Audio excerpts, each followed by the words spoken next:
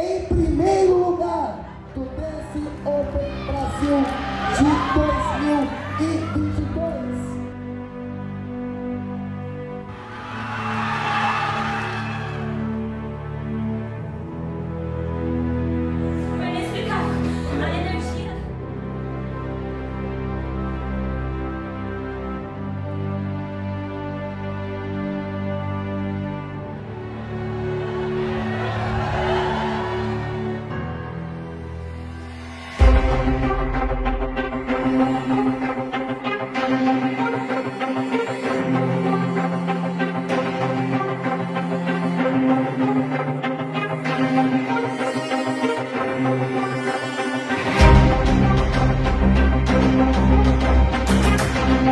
Thank you.